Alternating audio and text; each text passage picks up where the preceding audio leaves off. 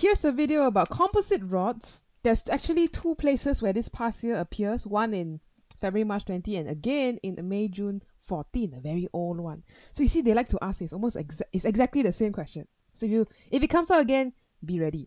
A composite rod here, there's two types, plastic, nylon, stuck together.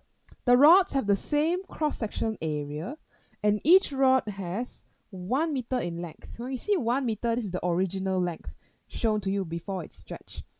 The Young modulus is 40 GPa, uh, EN is 2 gigapascals. The composite rod will break, now this is a very important clue, when the total extension of the whole thing reaches 3 mm.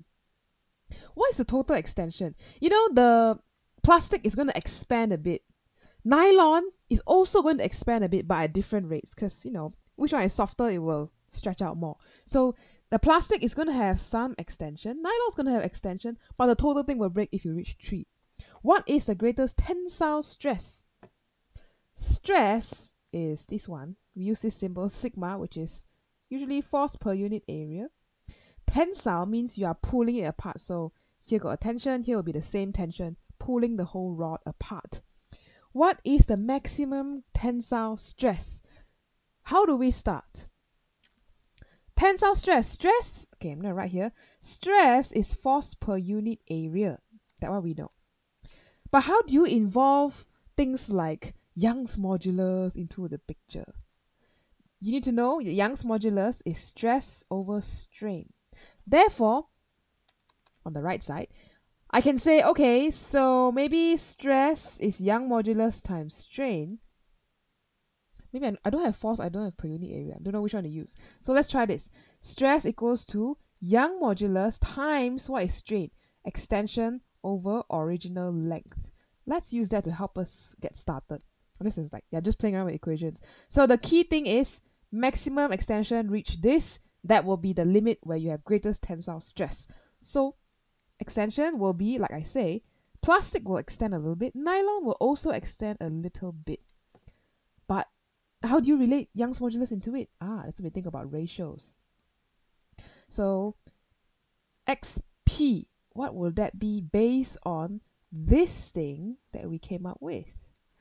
Well, you got to rearrange a little bit. xp will be sigma L over E. So let's write a note here. X will be sigma L over E. So we plug in for plastic, that will be the stress over L what is L? Original length for that component. Ah, just one. Okay, sure. So don't do, do write L. E for plastic is 40 gigapascals. Then we do the same thing for nylon as well. So nylon here will be sigma over 2 times 10 to the 9. And this equals to 3 millimeters. That's the maximum it can go. Now we're wondering, is the stress for plastic same as the stress for nylon? Yes, it is the same because they are part of the same rod. And also, if you look here, stress already takes into account the different materials here because Young modulus depends on the material. So yeah, different material will stretch differently and it's already considered for. So yes, sigma is the same for both here. Mm, okay, when you think about in terms of Young modulus. Okay, so now let's just simplify, do some maths. I'll just simplify this a little bit so you can see what the next step is. It might look a bit hard to calculate, but don't worry you can factorize out sigma and leave all the numbers in there. Ta-da! Which means you can find what sigma is. And sigma will get you about 5.7 times 10 to the 6 pascals. I think I calculated it just now. I think it's somewhere there. So let's do a quick double check. It's a lot of fractions. If you want to do this in multiple steps, you can do this in multiple steps. But if not, that's fine. You can do it all one shot in your calculator if you know how to do it. So 5.7 times 10 to the 6 is the answer for the greatest tensile stress for the composite rod before it breaks.